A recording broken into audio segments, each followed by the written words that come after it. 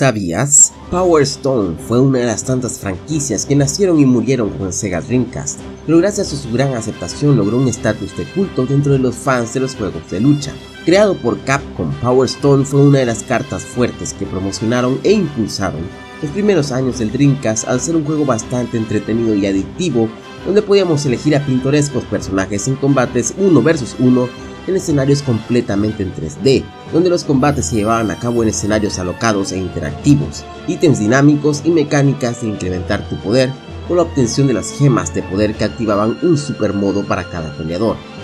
Para ese entonces estas mecánicas eran toda una innovación, ya que ni siquiera su competidor más cercano de esa época, Super Smash Bros., había salido al mercado y casi creando un nuevo género para el estilo de juegos de combate donde no solo te enfocabas en crear combos poderosos, sino a jugar con los elementos del escenario y al azar de poder obtener buenos ítems para salir victorioso en el combate.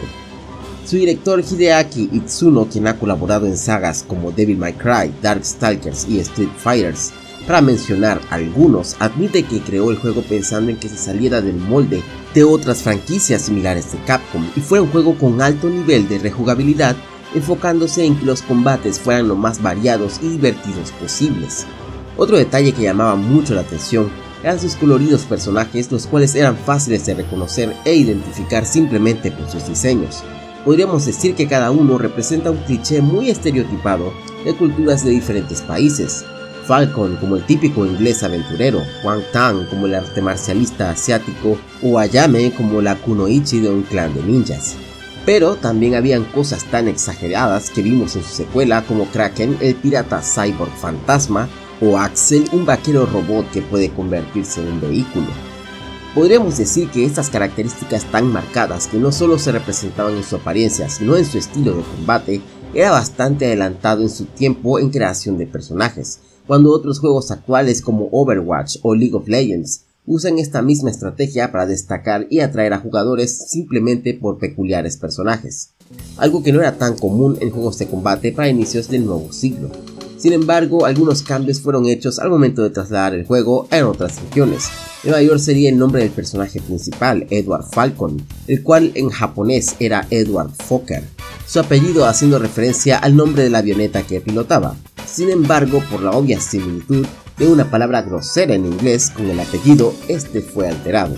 Igualmente algunos personajes y detalles parecen hacer referencias a otros juegos, como Wang Tang, quien tiene un gran parecido con Fei Fong Wong de Xenogears, o el gran parecido entre las Power Stones y las Chaos Emerald, que tomando en cuenta para la consola en la que fue lanzado el juego, no sería extraño que se viera como homenaje a las Esmeraldas de Sonic. El juego tuvo tanto auge que fue uno de los mejores vendidos para las temporadas navideñas en Japón, y recibiendo una adaptación a manga y anime de 26 episodios relatando la historia del juego.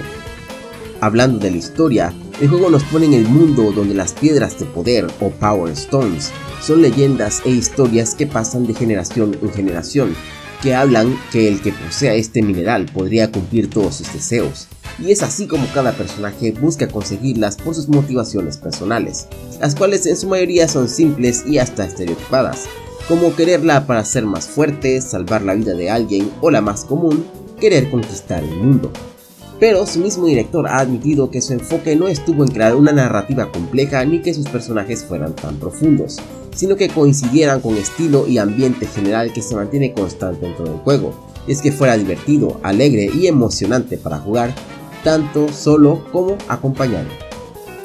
El gran éxito que cosechó esta primera entrega contribuyó a darle luz verde a su segunda parte. Power Stone 2 fue lanzado dos años después y mejoraba enormemente todo lo que se había hecho en el primero, ampliando el roster de peleadores de 8 a 14 personajes bastante llamativos y escenarios que no solo interactuaban en la lucha, sino que iban cambiando y obligándonos a desplazarnos sobre él, convirtiéndolo en casi un luchador más al cual tenerle cuidado a lo largo del combate.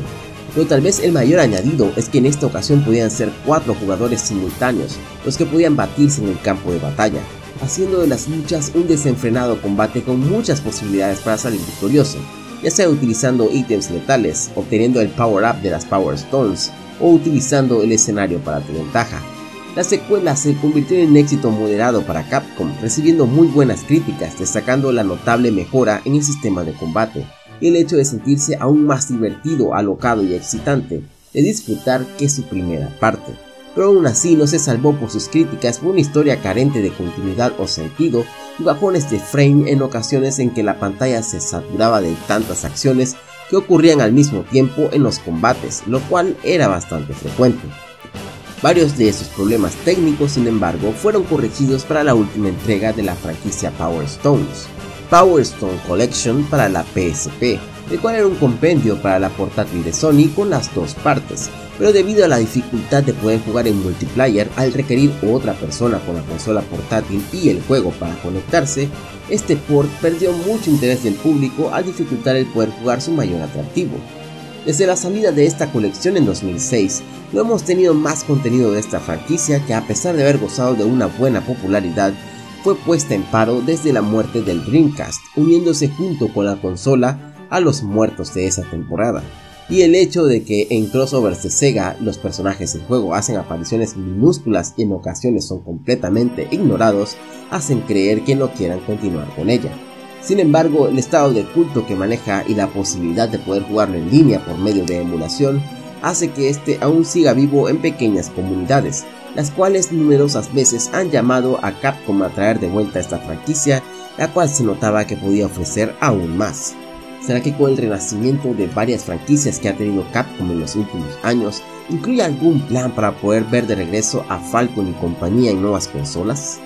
¿Qué otros juegos de Dreamcast recuerdas con cariño? Si te ha gustado el video, déjame un like, compártelo y suscríbete para más contenido similar. Y por supuesto déjame en tus comentarios de cómo recuerdas a Power Stone si lo has jugado o si lo quieres jugar o si quieres ver alguna continuación. Si quieres ver más contenido así, pues recomiéndame en los comentarios qué tipo de juegos te gustaría que toquemos. Nos vemos en otra.